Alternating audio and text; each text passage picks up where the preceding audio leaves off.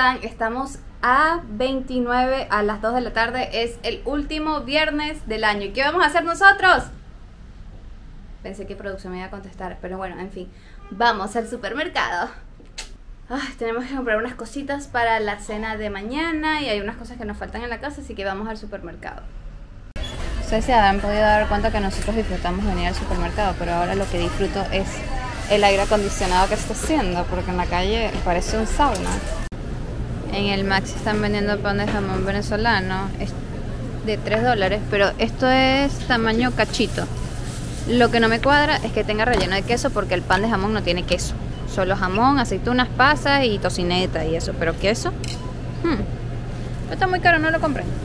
Miren que nosotros el pan grande que compramos para la cena de Navidad nos costó 12 dólares, ya era gigante. Por 3 dólares, a menos de que tengas un antojo y no sé qué tan bueno sea. Pero eso es tamaño cachito.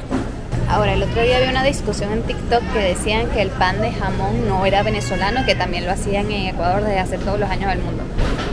Yo les puedo dar la razón en muchas cosas, pero no, el pan de jamón es de nosotros. Que a ustedes ahora les guste, está bien. Pero el pan de jamón con aceitunas, pasas, tocineta y todo eso es tradicional venezolano. Lo demás, mira, hasta, hasta la arepa la puedo justificar, que no importa si yo creo que puede ser colombiano o no, pero el pan de jamón me lo dejan. Solo déjeme eso. Ya llegamos al supermercado hace un ratito y estas cobijitas de lo que eran del set de Navidad ya las lavé y las voy a doblar toditas para ya poder guardar bien todo en la caja que estábamos armando ayer. Bueno, en esa misma.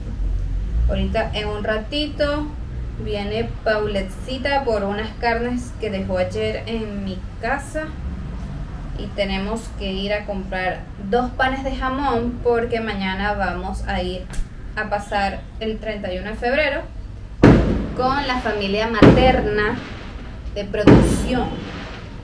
Y la condición principal de nuestra invitación fue traigan pan de jamón, que yo siempre he escuchado lo del pan de jamón y nunca lo han probado.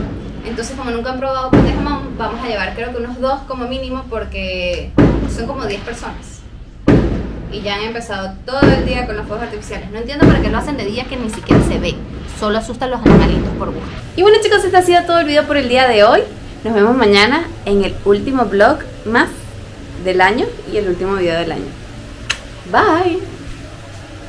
Bueno, que para ustedes ya va a ser en el año nuevo, porque lo voy a subir el primero de enero. ¿Usted me entiende?